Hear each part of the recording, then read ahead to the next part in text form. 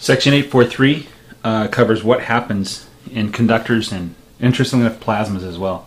So in, in this model, uh, the simple model that we had before where the electron was bound to the nucleus by some kind of spring restoring force, um, that force doesn't exist. The electrons are free to go wherever they like.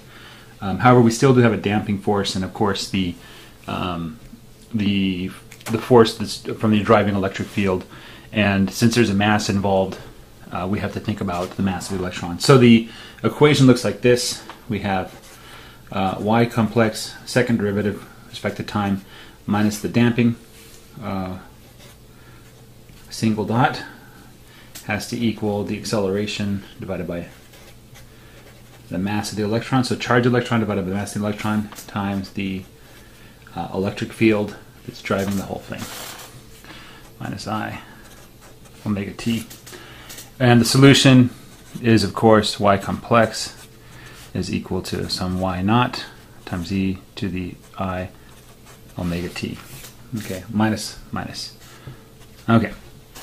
And where y naught is just, if you plug it in, plug and chug, you'll get y naught is equal to minus q over m divided by omega squared, the frequency the driving frequency, minus i times the damping times omega E naught. So that's what happens when you eliminate eliminate the uh, the restoring force. The uh,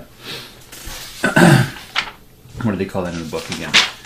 The uh, binding force. So there's no binding force in this case. So um, rather than talk about the polarization, which you know, in this case, the distances between the original uh, proton or the original nucleus and electron can get quite large. Let's talk instead about the current. The current J is just going to be the charge, um, the number of molecules times the numbers of free electrons per molecule times the charge of the electron times the velocity. So uh, our complex J, the actual J is just the um, real part of that, is going to be uh, NFQ uh, squared over M, Q over M over here, divided by gamma minus I gamma I omega, excuse me, times the driving electric field vector. Okay, so um, what happened? Okay, yeah, because it's the time derivative of y. Okay, uh, so uh, th- this right here plays the role of sigma, but now we have a complex sigma. Um, at low frequencies, so when this number at the bottom is very large, um, this becomes at low frequencies when the when this is very small. It's not I gamma, it's I omega. Let me fix that. Yes, I omega. When the frequency is very small, then we have a real term. It behaves like the conductors that we've always talked about up to this point. But when the frequencies get higher and higher, this term begins to dominate and it becomes more and more imaginary um, at a high frequency. Example 8. Um, so let's calculate what happens when we subject, um, uh, let's say, copper uh, to uh, a high frequency. So copper has its uh, conductivity at low frequencies is about 6 times 10 to the 7th ohms per meter no, uh, ohm meters, one ohm, one over ohm meters. Uh, its density is about 9 times 10 to the third kilograms per meter cubed. And it has one free electron per atom. So our n, the number of atoms that we're talking about here, is 9 times 10 to the 28 per meter cubed. So and so when we calculate our gamma for copper, we use this formula, NFQ squared divided by sigma at low frequencies, m, the mass of the electron, and plug that all in and we get 4 times 10 to the 13th hertz. Um, so that's in the infrared region, which implies that for frequencies lower than infrared, copper behaves like a very wonderful conductor. And something else happens at frequencies above infrared. So this isn't surprising. Copper doesn't um, look like silver. It doesn't behave quite as well as silver does in reflecting um, uh, visible frequencies back to us. Um, all right. Uh, all of this. Uh, so when we're talking about high frequencies, let's write our kappa. So our kappa is going to be mu epsilon of the material omega squared plus i sigma um, mu omega. That's when we. That's the wave equation. That's the kappa from the wave equation we got for uh, conductors. And um, one particular interesting case is what happens in um, plasmas when we have gases, where basically our mu's and epsilons are equal to the, you know, mu is is about equal to uh, mu naught, and epsilon is about equal to epsilon naught.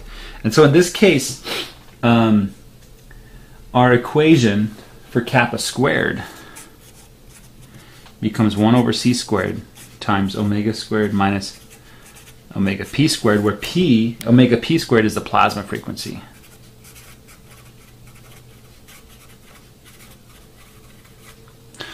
Below this frequency, the the plasma behaves like a conductor. Um, it reflects back the waves that you send up, so you send up at it. But beyond that, uh, when you go beyond that frequency, it behaves like a transparent, um, um, like it, it allows the, the wave to go through it without much interaction. The interesting um, thing is if you calculate the velocity of waves at those high frequencies,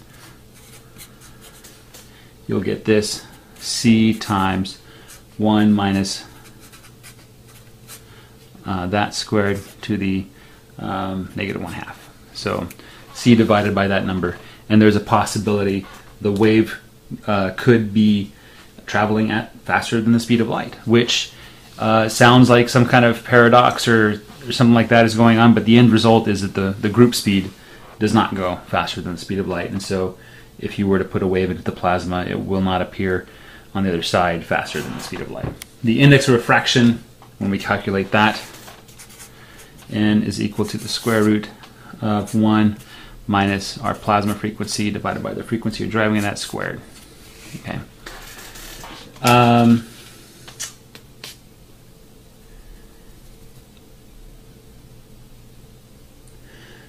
So that's about all I have to say about that. The ionosphere. So those of you who do ham radio and are familiar with radio, so the Earth has this layer of atmosphere near the top. That so here's the Earth. This is called the ionosphere. So named because when the sun is up, the the ultraviolet rays hit the ionosphere and cause it uh, to turn into some sort of plasma.